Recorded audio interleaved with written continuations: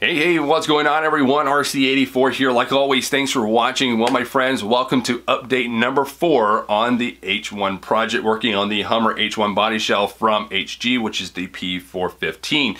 Now, I covered this in the last update, number three, about the vehicle.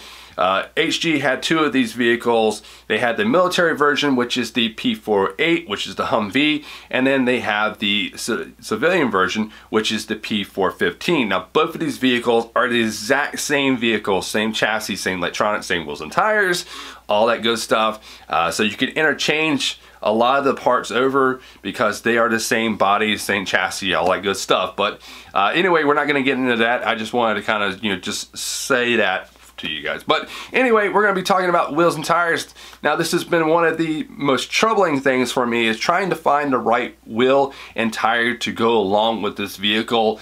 Uh, you know, and it's hard for me because I don't have a local hobby shop nearby. I can't just run 15 minutes down the road to a hobby shop. I actually have to go out of state to go to a hobby to a hobby shop.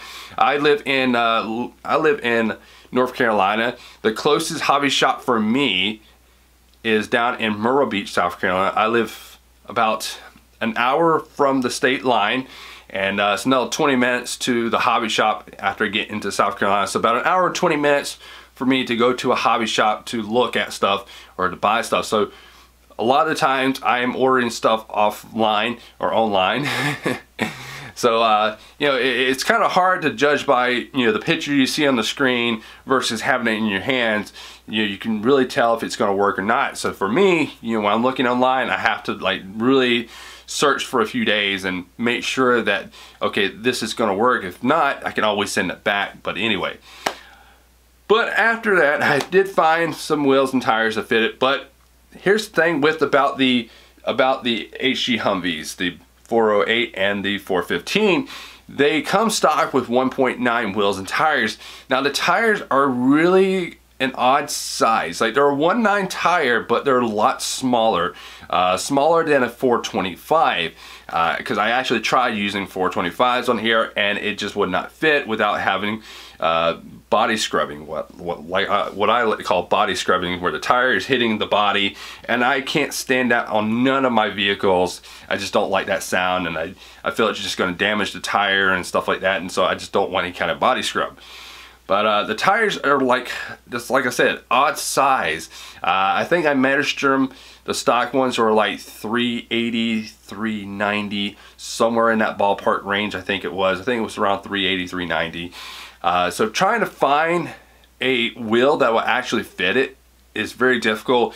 Now I had a set on there when I did my first initial upgrade to my Humvee there. I put on some uh, some knockoff RC4 drive mud thrasher wheels and they worked on there. Uh, they cleared the fender wells, no issues. But uh, I really didn't like those tires. They kind of, they, they felt really rubbery. Like, uh, you know, I know the tires are supposed to be rubber, but it just felt like very slick kind of rubber, like the compound just wasn't really there. And uh, so I wanted to trash those and get some other ones. And so let me show you what I have here. Now, both of the wheels and tires I got off, off Amazon. So you can say they're Chinka wheels. Uh, so knockoff versions of you know name brands. So anyway, show y'all right here. So here is the wheel and tires. So the wheel or the rim is from Goo RC. I think it's I think that's how you pronounce it, Goo RC. Uh, but these are also a scale replica of the Kinston Stone uh, wheels. I actually looked that up and I saw a picture of it and I was like, huh, okay, so it's actually a real version tire, just uh, you know, no brand, no no name on it really. But uh, very nice, high quality wheels that are made of aluminum, uh, three piece bead lock you got five screws on the back that clamps it down, which I totally love these type of wheels. A lot of my crawlers uh, that I do have have these type of wheels on there. It just makes it a lot easier to uh, to install onto uh, the tires and stuff. So I really like that. So, but uh, yeah. Now it does also have. Uh, it also came with like 20 some of these little 1.5 five millimeter screws to put on the side right there where you see a little all the little holes there. Uh, they don't really do anything. It's just more of an appearance look. but uh, I might actually leave them off. I did like half of the rim before just to see what it would look like and I I wasn't really sure if I wanted to do that. That's a lot of time to put a lot of these 1.5s uh, screws on there. So I probably would do without them. I think it looks pretty good with it, you know, without it. Now, let's get into the tire part. Now this is, like I said, hard for me to do.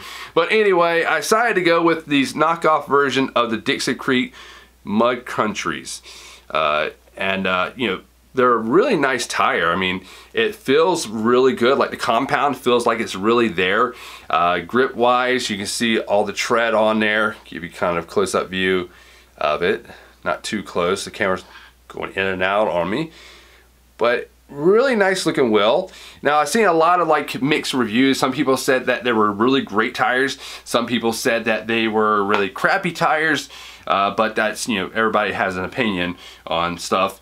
But uh, anyway, I mean, what do you expect for $16 on the tires?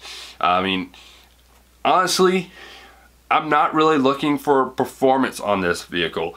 This is going to be my trail truck. This is what I'm going to go out and take on the trails and do some light, light crawling. Maybe go over a few little rocks and roots and stuff like that, but nothing like full-fledged mountains of rocks and crazy obstacles.